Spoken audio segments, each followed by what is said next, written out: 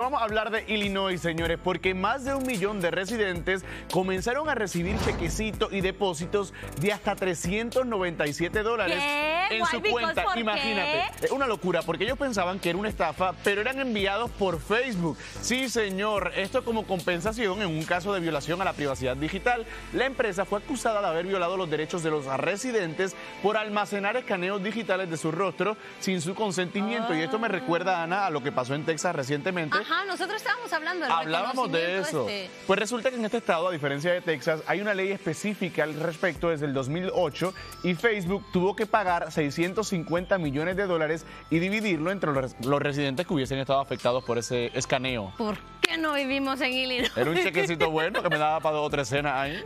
Bueno, pues Facebook si anda con dinero que nos paguen mejor por los Reels. Están pagando muy poquito por los Reels. Ay, ya sé. Honestamente.